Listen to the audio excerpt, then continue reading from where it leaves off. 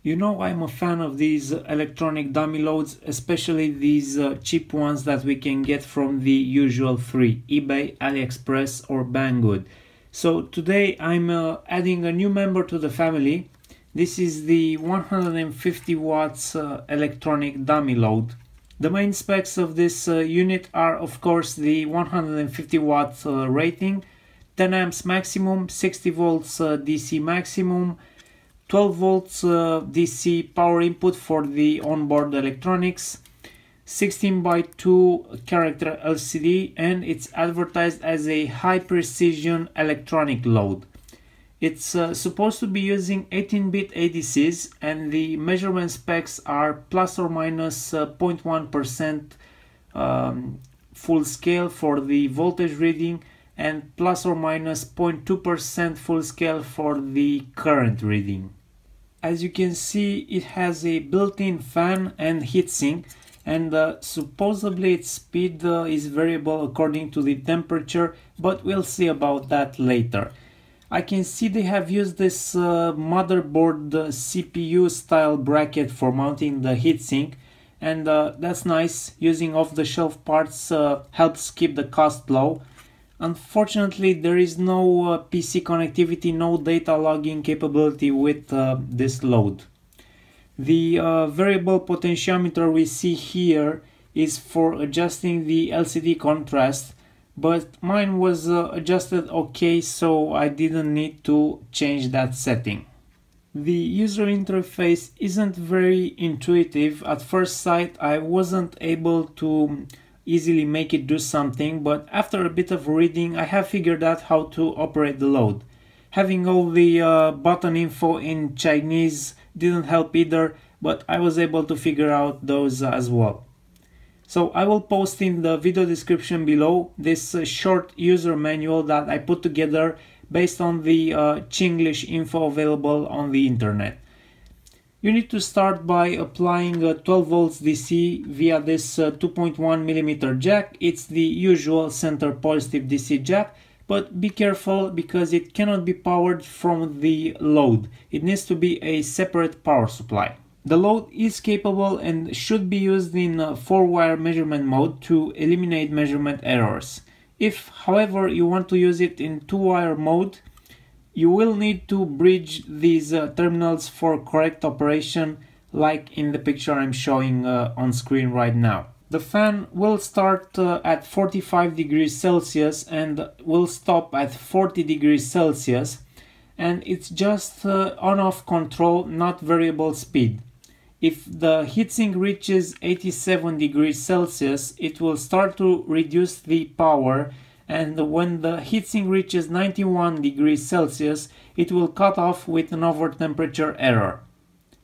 During my tests I noticed a different behavior. There is no power reduction when the temperature goes over 87 degrees Celsius, only a cutoff which occurs when the temperature goes over 91 degrees Celsius.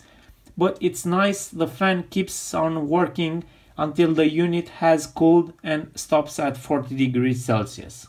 On the lower left corner, the display will automatically toggle every 2 seconds between power, capacity in amp hours, temperature and time, but it can be locked on a certain view by press and holding the set button and then after the beep pressing the plus button. You can go back to this automatic toggling of the values uh, with the uh, set button the same way holding the set button and after the beep pressing the minus button.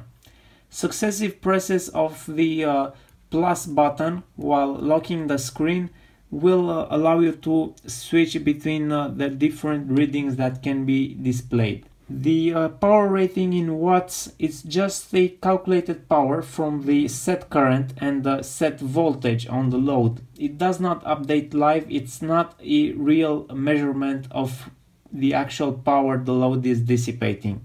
That's disappointing because it's a useless number shown on screen. And uh, the measured values like uh, capacity and time will keep accumulating unless you reset them manually by uh, long pressing the start button.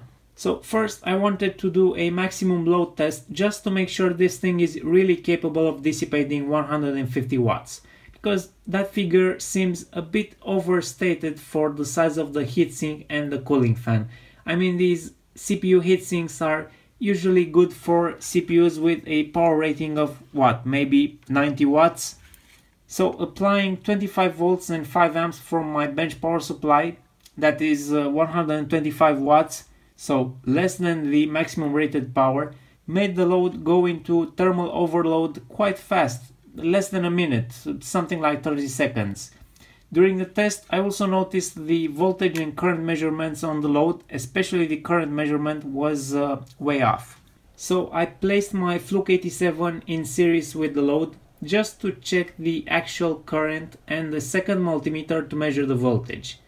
Then I ran my second test. This time I wanted to test for 100 watts. So I applied 20 volts 5 amps from my bench power supply measured with the multimeters and this time with an ambient temperature of 25 degrees Celsius the dummy load stabilized around 88 degrees Celsius which is quite close to the 91 degrees Celsius where it will go into thermal protection. Now, considering these measurements, we can say the load is only capable of dissipating 100 watts maximum at an ambient temperature of 25 degrees Celsius. During the test, we can also observe the load is showing about 500 millivolts and 500 milliamps measurement error, and these measure values are also used for the capacity value showed on screen, so that will also have an error. Nothing close to the uh, claimed 0.2% accuracy from the specs of the unit. During the test I also noticed uh, a strange behavior, maybe some firmware bugs. Sometimes the load would freeze, pulling uh, 5 amps continuously and that's possibly the maximum current that my power supply was capable and uh, it had this weird switching visible even on my power supply which was hitting the uh, current limit and was going into constant current mode. The LCD on the load was showing error, none of the buttons responded, and the fan was stuck continuously on. The only solution was to remove and reapply power. I find this kind of bugs very disturbing. These are the kind of bugs that could set things on fire. So after seeing this, I can strongly advise against getting this dummy load. Unless, I don't know, you get a different firmware revision which has fixed these issues. Now let's also do a teardown of this dummy load to take a closer look at the uh, components used in this circuit. It looks like uh, I have to remove the LCD panel and the heatsink and then all will be visible. It's nice that the LCD panel is um, socketed instead of being uh, directly soldered so we can easily disassemble this. Okay, so the LCD panel comes off nicely It's just an off-the-shelf uh, 1602 module. Now let's try to remove the heatsink. Should be just a matter of unscrewing these four.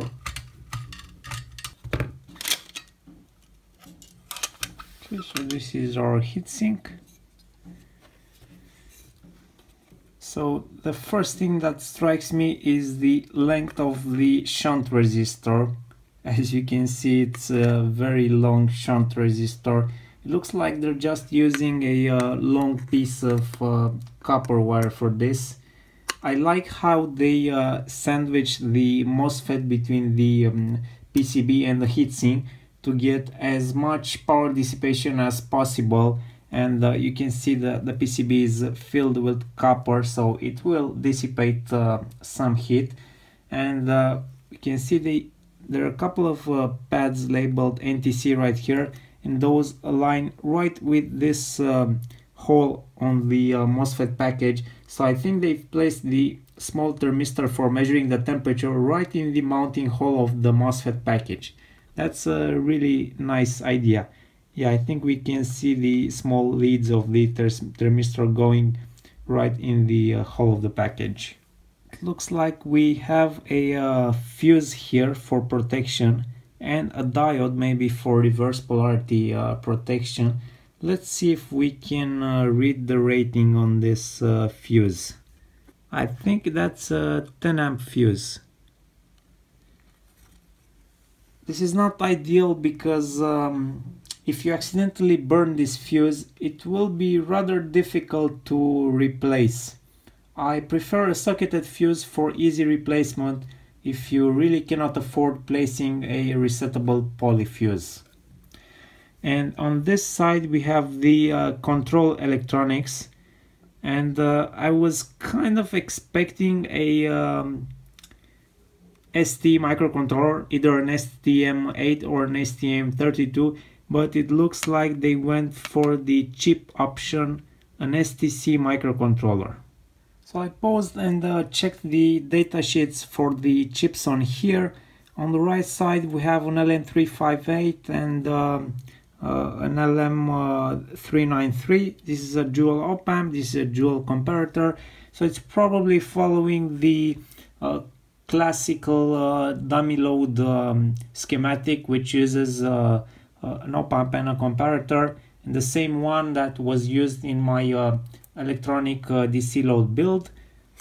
Uh, the microcontroller is an STC microcontroller 8051 um, architecture type but it's supposed to be um, much faster built with a, some some new technology from STC and this microcontroller has a built-in 10-bit ADC but as the specs for this unit uh, tell us it should be an 18-bit ADC I believe this uh, these two chips might be the ADCs one for the voltage one for the current.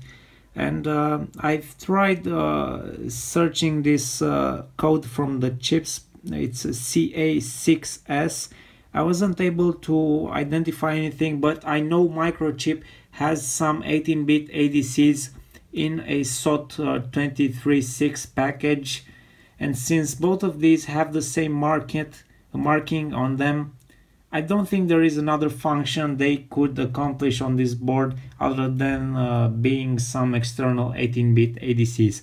And the ADCs from uh, Microchip coincidentally or not they also their marking also starts with uh, CA and then there is some uh, random number I believe for identification so these could be those ADCs from um, microchip 18-bit and um, the uh, huge errors that we were seeing during our tests uh, I think could only be uh, caused by um, wrong calibration values.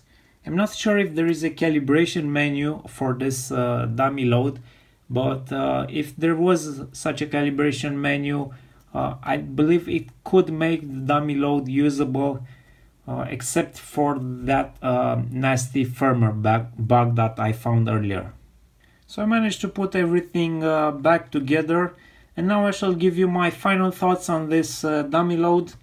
Don't buy it, it's just not worth the money, it's a piece of junk the 60 watt dummy load still remains the best dummy load in this uh, 20 to 25 dollars uh, price range this 150 watt dummy load first of all is not capable of dissipating 150 watts as shown in my tests. It can only do maximum 100 watts. The measurement errors are high and there are bugs in firmware that could easily allow this thing to catch fire. The only good thing about this load is the LCD display which is better than a 7 segment display and I kind of like the uh, form factor and the fact that it uses this uh, CPU cooler but other than that there is nothing good about it. So there you have it. I review these electronic items so that everyone else doesn't waste their money buying useless stuff. Thank you for watching this video and as usual let me know what you think in the comment section below and hitting the like button certainly helps. Don't forget about that. Thank you and see you next time.